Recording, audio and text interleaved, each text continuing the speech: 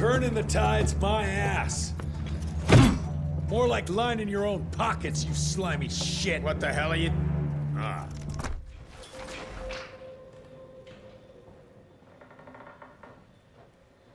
You want something done right, you got...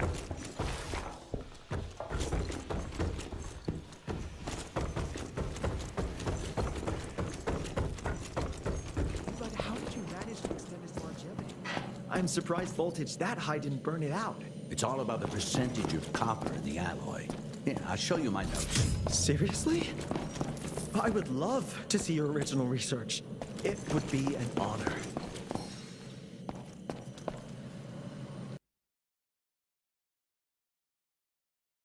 Virgil and I were just having the most invigorating discussion. I was telling Director Rentier about my ideas for upgrading the gauntlet. Huh, I must say, it's refreshing to see young blood like Mr. Olney's coursing through Calico. We'll need his vital spirit if we're to rebuild the Institute's power and vigor. Well done, son. I think we may have given him a few too many vaults. Glad to see you're in good shape, but uh, we've got a situation. In order to keep your condition quiet, Amelia told Harrow you died. He's pulled rank and is sending us out on money grubbing errands while Felicity's building her army. Harrow's head knows what's right, but his heart is tainted by lust for power and money. Uh, it's gonna get worse now that he got promoted. One wrong move and we're dead in the water. The one right move, and you could catch her and end this war on the subject of moving. You know what? Maybe let's wait for the dog to give the all clear before we start unbinding anyone. Oh, Edgar. Harrow's not an idiot. Without the Institute, this country would turn into a blood feast. Now, you tell me, son, what's more important? His approval or ending this war before it started? What did you see while Felicity was in your head? Death. Horrible monsters appearing out of nowhere. Fire, smoke, everywhere. And, and boxcars. Scores of them. Filled with blood. That's how she's transporting the leeches now? By train? That's not good, sirs. Dickinson is a major cattle railway hub. The trains run in all directions. If there's an outbreak, we won't be able to contain it.